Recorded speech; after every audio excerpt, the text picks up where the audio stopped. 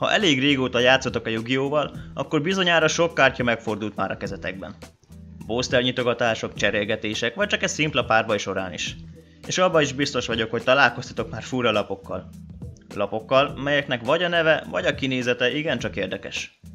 Ebben a videóban ilyen lapokat gyűjtöttem nektek össze. Na de kezdjük is el. Tongue twister. Azaz nyelvtörő. De akár nyelvtornádónak is fordíthatjuk, ha nagyon akarjuk. Ennek a lapnak a neve is, és a kinézete is bizarr. Egyébként a képességével semmi gond nincs, szinte még használható is, de ahogy ez a lap kinéz, én nem mutatkoznék vele.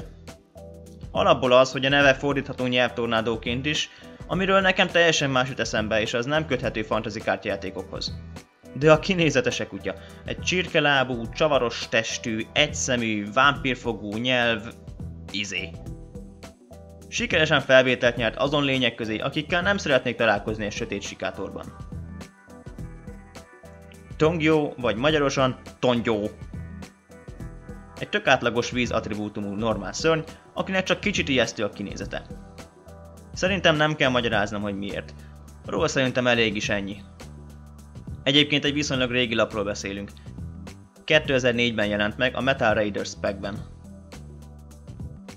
Warrior Spirit ezzel a lappal nagyon sokat szemeztem annak idején, mert tuner, de valahogy sosem tartozott a kedvenceim közé. Olyan módon creepy feje van szegénynek, hogy ez valami hihetetlen. Tök olyan, mintha csak egy szeretetéhes vízikoponya izé baby lenne. The Judgment Hand Testrészekkel találkozhatunk a yu világában, vagy gondoljunk csak például Exodiára, ami teljesen érthető módon került be a játékba. Na de kinek jut eszébe kártyát csinálni a bíró kezéről? Na őt simán megnézném az egyik animében, ahogy megidézik a pályára és lesújt az ellenfélre. Lépjünk tovább. Twin Long Rods 2 Szerintem őt nem kell magyaráznom. Tökéletesen beleillene valamilyen japán horrorfilmbe vagy animébe. Ő tipikusan annak a szörnek néz ki, aki megállítja a metrót, majd ijeszgeti a rajta levő lányokat, miközben a bugyiukat próbálja kukkolni. Curtain of the Dark Ones. Mi ijesztőbb a bíró kezénél? Hát persze, hogy két kéz, ami egy paplan alól nyúl ki.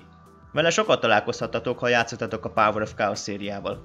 Ő is egy elég régi lap, és igazából pont ezért nem értem, hogy miért született meg. Manapság is rengeteg yu kártyát terveznek, de garantálom, hogy az összes kreatívabb és jobb, mint ez. Pihenőként jöjjön egy nyelvtörő. Tatsunuto Shigo. Hm. Azaz, a pervers sellőló. Vagy nevezzük hallónak?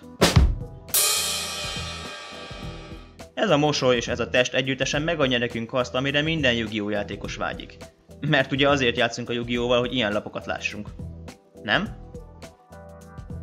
És végül nézzük meg az utolsót. Dice Jar. Ez a lap egyébként egy nagyon jó képességgel rendelkezik, én nagyon szeretem, de az artworkje elég különleges. Igazából, ha művészemmel nézzük, akkor egy eléggé kidolgozott lapról beszélünk, de azért, na, hát érted. Ennyi lett volna ez a rövid videó.